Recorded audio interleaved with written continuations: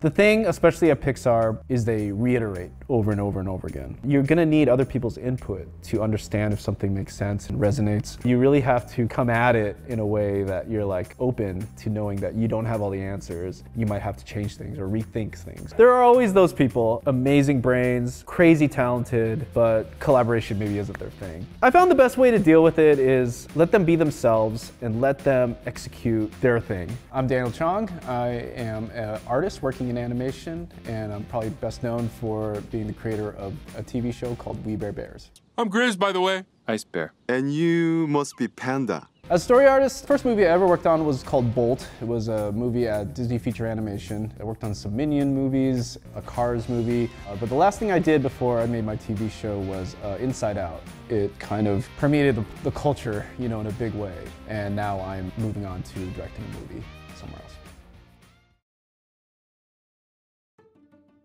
Right before Bears, I guess you could say I was at Pixar. I think as a storyboard artist on those movies at Pixar specifically, you're just kind of like taking the script and uh, turning them into drawings so that you can visually see how it is. Uh, I look back on it now and I'm like, I don't know if I would have hired me. But I think that one thing that I remember somebody who interviewed me and hired me did say that I that they liked for my portfolio. You know, I had the typical portfolio where you see all my storyboards, but at the back, I had these little books that I had written, kind of comic strip books that I made, and then I Xeroxed them and then just clipped them together. And I just kind of threw them in the back just for fun. He said that reading those kind of showed that I was a little bit different, that there was something about me that felt fresh. When I was growing up, I didn't just draw, I also wrote. I always was approaching it from, does this drawing have an idea? Is there a joke involved? Those are the kind of things that are kind of what make or breaks a person being able to make actually survive and sustain in the industry. At Pixar, the Brain Trust is a series of directors that can come in and just give feedback. You can basically get whatever directors you want in the room to help kind of give you the right feedback that you need. I mean, that's honestly how they get their movies to, at the level they are. I mean, obviously there's a lot of smart people investigating them and critiquing them. The thing, especially at Pixar, does it more than any other studio, is they reiterate over and over and over again. I mean, every artist, I think, will deal with struggling with iteration. Really, at the heart of it is the humility to know that you're not gonna get it right the first time. But on a whole, I found that humility really helps the process a lot. I think a little bit of humility is necessary and removing the ego as much as possible has been a really important part of the way I lead things, how I work with others, even deal with the business side of it. Of course, your first reaction is like, no, I don't want to do that. You don't know, understand what I'm trying to make. You're gonna need other people's input to understand if something makes sense and works and registers and resonates. And so you really have to come at it in a way that you're like open to knowing that you don't have all the answers. You might have to change things or rethink things. Honestly, the most memorable thing was working on it with the crew. I really loved the people working on it and Pete Docter was really fun to work with and I could tell that he loved the story process and he loved being around us. It's basically community. You know, it's a community of people who are creative minded people who can help guide you as you're trying to create your movie. I think really that is the essence of it is that you're getting a community of people who are helping to collaborate with you on that process.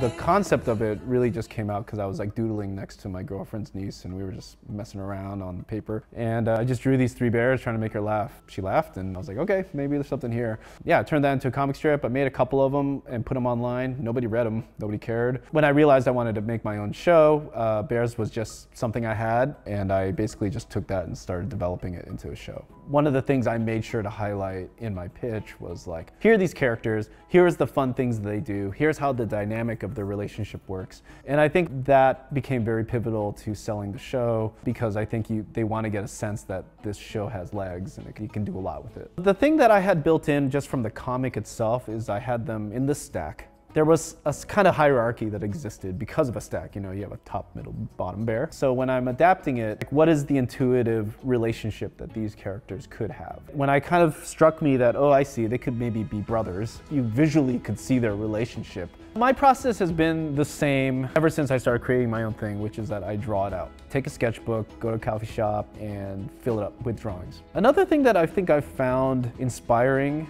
to go back to the things that I loved as a child and looking at those things again and finding out why did I like this when I was a kid? A lot of times you look at it, you're like, oh, this is horrible. Why did I like this? But there's always a reason because I think it also teaches you like, why did you become who you are as a director? Part of the work when I build a team is to hire the right people. That is instrumental to making sure that I can make what I need to make. So I kind of find that what has been a skill I've had to learn is how to pick the right people that will fit into my world and into the kind of thing that I like to do. That skill takes time because in order to know who's gonna work well for your project, you have to know who you are and what you're good at and what you are gonna do. But I think earlier on I, I made a lot more mistakes about bringing in the wrong people.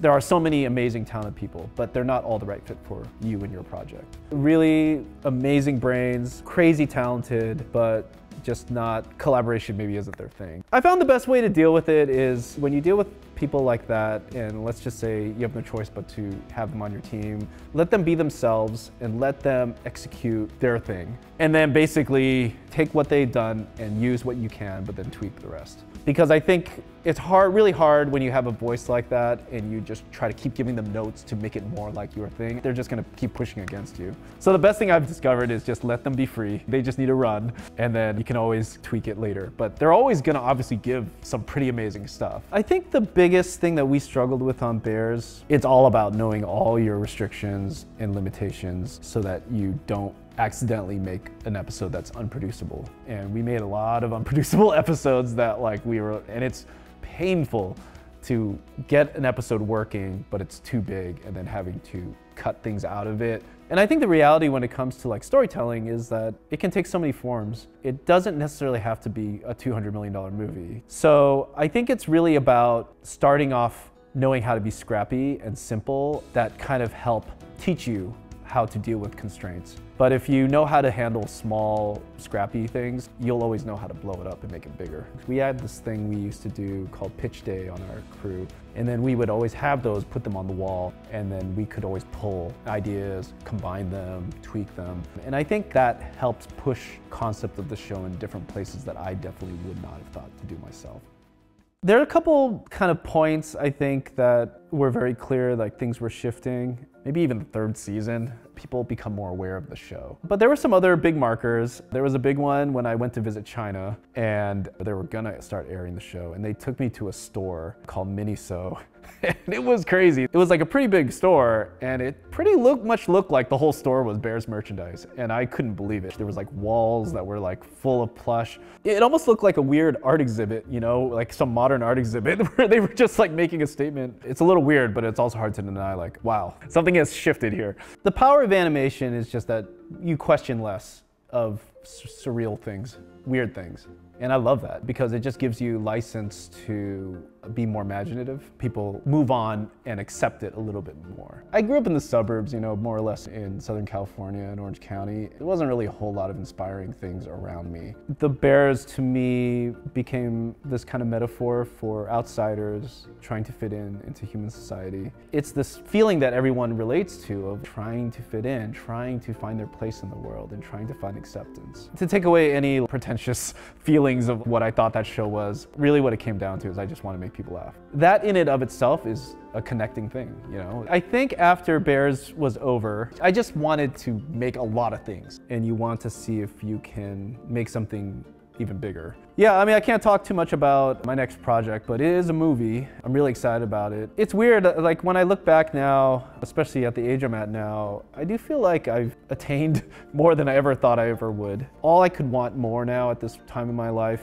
looking into my future, is just to maintain and keep, keep making things that I want to make with working with people that I really like. And if I can do that for the rest of my life, I think I'm good. I, I hope I can keep going and uh, keep making stuff for as long as I can.